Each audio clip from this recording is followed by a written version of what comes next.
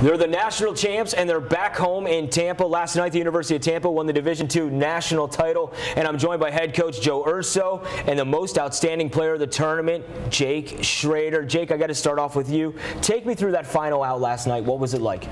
It was uh, just uh, relief. I mean, just finally, finally having the opportunity to. Um, to win the national title. It was just, it's, it's just awesome. Speechless almost. Speechless, exactly, exactly. Coach, you said this is the most special group you've ever had in the dugout. What makes them so special? Yeah, early on in the year, you could just tell the chemistry. Everything was clicking.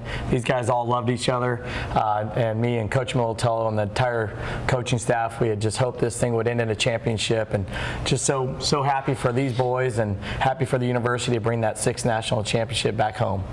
Now, Jake, I understand for you, this was actually a very emotional week leading up to the championship. Can you kind of tell the viewers at home why it was so emotional? My uh, my grandmother passed away uh, about two weeks ago, uh, right before um, regional started. We actually, uh, my parents and a couple other parents came down and um, cooked us dinner, and I was actually working on the field with a couple other teammates, and uh, my dad came out to dugout with the coaches and broke the news, and uh, but it's it's um, it was just it's hard I mean, it was hard to play, but the way my uh, the way the teammates and the coaches picked it up, I mean, it was, we're all family, and it was it was uh, it was awesome.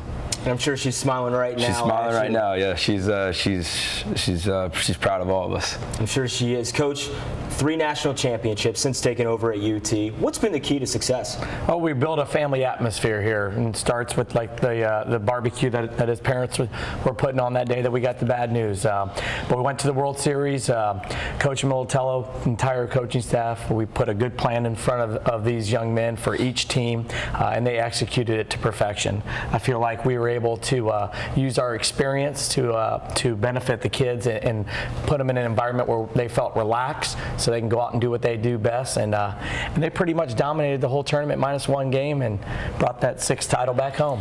Now we do have to talk about that one game because you guys were on the ropes. It's a double elimination tournament. Grand Valley State shut you guys out. How did you manage to bounce back from that one, Jacob? It's uh, it's just it's it's a loss. I mean, baseball you're going to lose, but uh, Coach Urso and Coach Militello they um, they keep us even keel all year. I mean, win or lose, you can't get too hyped up for any other game. It's just you have to go out there and play nine innings strong.